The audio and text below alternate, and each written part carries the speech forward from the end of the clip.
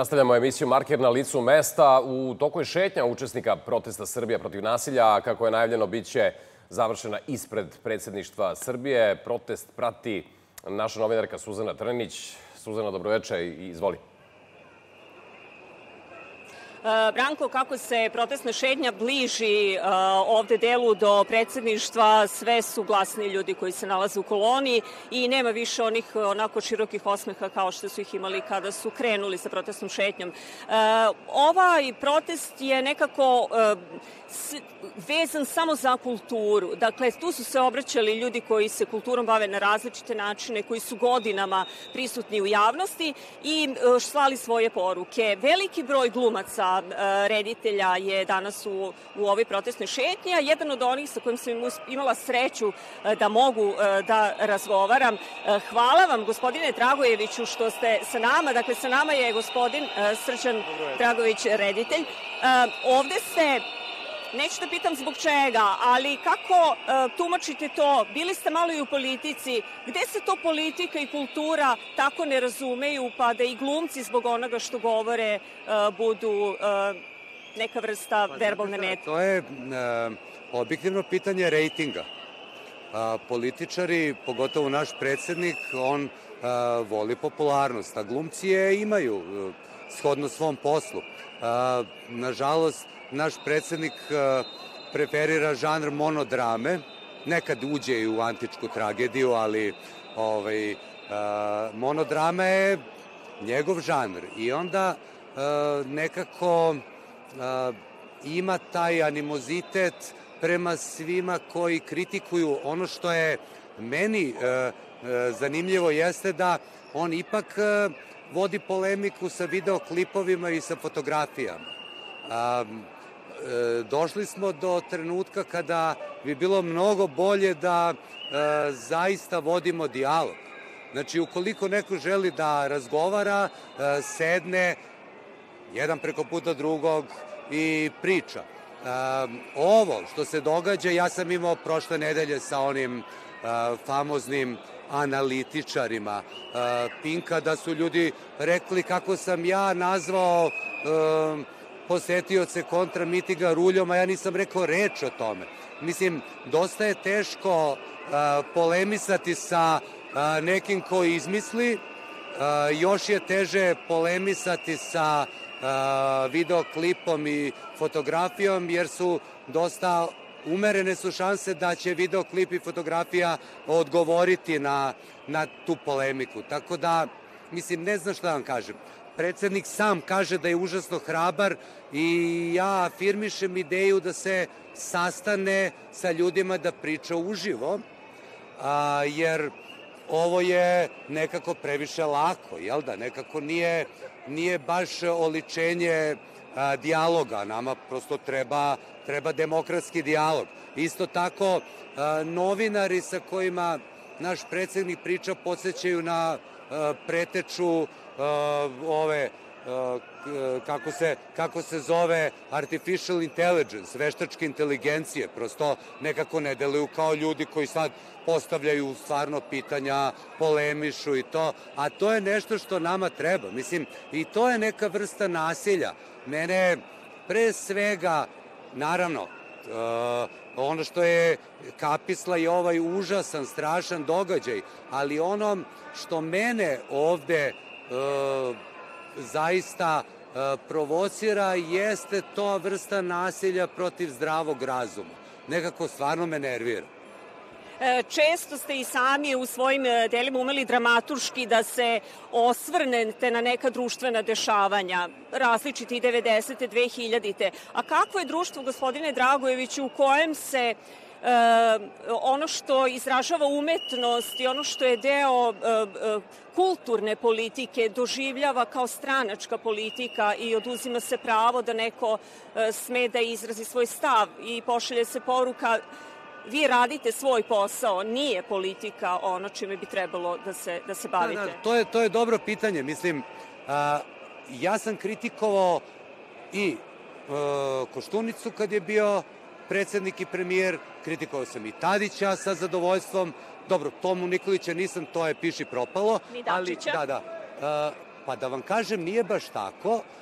Ono što ljudi previđaju jeste da sam ja prihvatio da budem poslanik i ovaj ali da ne budem član partije. Ja nisam bio nikada član Samo niti, da niti jedne... Pozdrav za baku, baka Živka. Super. Živa bila baka Živka. Ovaj, uh, I ja sam imao tu slobodu da zaista gledam politiku na način uh, koji je, čini mi se, pravi, a to je da nemam stegu uh, te neke stranačke discipline, diktature. Mislim, ljudi se ne sećaju možda a, da sam u odboru za kulturu a, izlobirao sve. Mi smo zaista tada bili, ovaj, to su bili ljudi iz Ljajićeve partije, to su bili e, ljudi iz Demokratske partije, ovaj, ljudi iz SPS-a, ljudi iz kulture su bili apsolutna većina u tom odboru za kulturu. Mi smo oborili zakon o kulturi na odboru nikada u istoriji našeg srpskog parlamentarizma se to nije desilo da jedan zakon od vlade padne. I to je politika. Mislim, to je ono kako politika treba da bude. I ja sam, pravo da kažem, bio uh, vrlo zadovoljan te tri godine. Uh, uradio sam uh, mnogo stvari. Sada u zakonu o, o informisanju, to je oglašavanju, imate da je reklama kulture besplatna. Vi možete proširiti reklamni blok. Ja sam inicirao uh, brojna javna slušanja uh, zbog problema slobodnih umetnika, uh, zbog problema novinskih fotografa. Meni je Tasovac rekao kada sam napravio javno slušanje vezano za zakon o kulturi, taj koji je pao, ovaj, kaže, pa nije ti ovo samoupravljanje, Dragojeviću. Ja kažem, pa samoupravljanje je dobra stvar, to nije pežorativno. Ali čak i ako je politika takva kakvu me predstavljate, jer ste u njoj, bili ste njen deo, zašto se onda građani gnušaju politike. Znate, uvek je neko, neka vrsta gađenja kada se u politici govori preuzimanju neke odgovornosti, učešću, participiranju direktno. To je vrlo dobra stvar. Znate šta, ja sam, na primjer, bio, kako da kažem, ono, nepartijski čovek u parlamentu i radio zaista dobro. E, pretežno su reakcije na taj moj trogodišnji angažman negativne. Ja ljude razumem. Mislim, nekako se ljudima to ogadilo. Ali čini mi se da postoji način moguće uz promenu izbornog sistema da ne bude ovaj proporcionalni nego kombinovani sa del, delimično većinskim sistemom da zaista ljudi koji dođu u parlament predstavljaju građane. Jer ovo sada, mora se reći, nekako teško liči na parlament. Ja onako gledam ponekad i, i nekako imam neku dozu ljubaznog gađenja prema svemu tome. Tako da ja razumem građane, ali moguće da je ovo neka inicijalna kapisla koja će dovesti ne samo da promenimo ovaj vladu, ne samo da promenimo garnituru, nego da promenimo jedan generalni pristup prema bavljanju e, politikom. E sad, još sam ovo da vas pitam, dakle, dok ova kolona teče lagano ka predsedništvu, ovde ste jer su to građanski protesti, jer su vaše kolege pomenute, pa ste sada tu, ili zato što su ovo opozicioni protesti, pa podržavate opoziciju. Kako vi doživljavate ove proteste, jer stalno imamo potrebu da ih identifikujemo kome pripadaju? Vidi, to je, kažem, to je super pitanje. Ja, ja bi ovaj uzvratio kontra pitanjem, ne vama naravno, nego retorički, e, u smislu e, da bi bilo fenomenalno da mi imamo proteste za obavezno srednju školu, znači svi da se obrazuju, ovaj, da imamo proteste vezane za predmet istorija civilizacije, da imamo proteste vezane za operu i balet koju mi nemamo, da imamo proteste vezane za Prirodnjački muzej koji e, čeka 130 godina da, da nastane. Tako da ja bih više volao da imamo e, pozitivne proteste, ali čini mi se e, da te proteste možemo imati tek kad promenimo suštinski osnovu političkog sistema i kada izađemo iz političke krize, što je ovo svakako. A tu mislite i na opozicione partije, jer su i oni sad u toj krizi o kojoj govorite. Nemaju kapacitet da naprave ove proteste tim pozitivnim kak, kakve želite, kakve mislite da su dobre? Pa dobro, znate šta, ja oko toga sam, mislim, vrlo, imam tu jednostavan stav. Mislim, ja sam e, čovek koji je uvek glasao za partije koje su jedva prelazile cenzus, od građanskog saveza i tako dalje. I onda što se toga tiče, ja sam ambivalentan. A, naravno, mislim da je vrlo važno da postoji parlamentarni život a, sa svim dinamikama koje postoje svuda u Evropi, da se naprave koalicije između ljudi koji nisu toliko bliski međusobno, ali to je demokratija, to je parlamentarizam.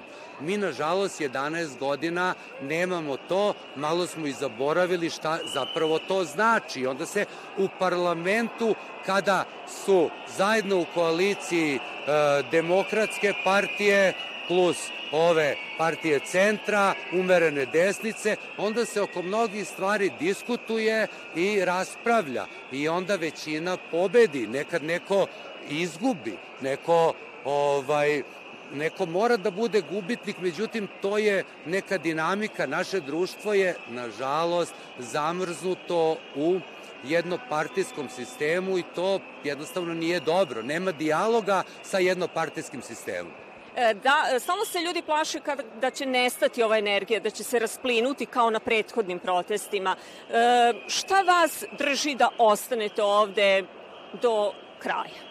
Dakle, da ne bude ni raspust razlog da odustanete, ni godišnji odmor, lepo vreme, praznici.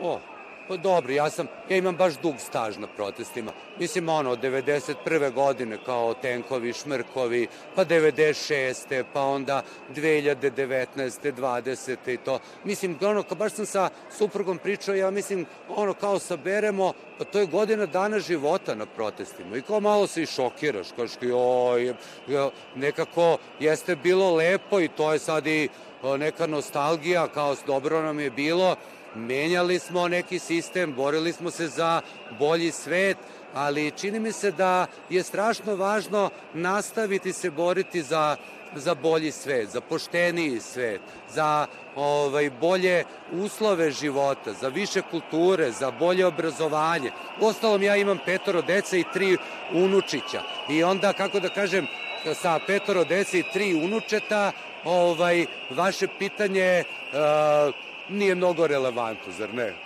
Veliko vam hvala na ovom razgovoru. Nastavite šetnju. Hvala. Hvala. E, mi sad nastavljamo e, da pratimo kolonu koja dosta strpljivo i užurbano i odlučno ide ka predsedništvu. Ovde stojimo barem 20 minuta, e, nismo videli kraj e, koloni koju možete da vidite e, iza mene. E, danas je e, na ovom protestu bilo jako teško uhvatiti bilo koga od e, predstavnika e, glumačkog esnafa da govori. Rekao bi nekao da su to ljudi koji su navikli na kamere i navikli da budu u javnosti, ali e, nismo uspeli ni na koji način da ih odobrovoljimo da stanu. Svi su užurbano kretali se kroz e, kolonu. Međutim, e, naravno, bilo je dosta jednostavnije razgovarati sa političarima. Ja sam u jednom trenutku bila u prilici da razgovaram i sa liderom demokratske stranke, gospodinom e, Zoranom Lutovcem. Ono što je negde poruka onoga što je gospodin Lutovac preneo, čini mi se da opozicione partije, bar kada o tome govori demokratska stranka, na dijalog na koje je pozivao predsednik Srbije nemaju nameru da odu. Ono što je i gospodin Lutovac zamerio, to je, kako je rekao, on lično nema Instagram i e, propustio je e, predlog za dijalog. I dalje za opozicione partije ostaje značajan uslov, a to je ispunjenje zahteva, pa tek onda eventualni razgovori dalje. Branko? Uh, Suzana, dobro da ponovimo i da bi ljudi znali šta je plan za dalje kada bude formiran taj prsten oko predsedništva?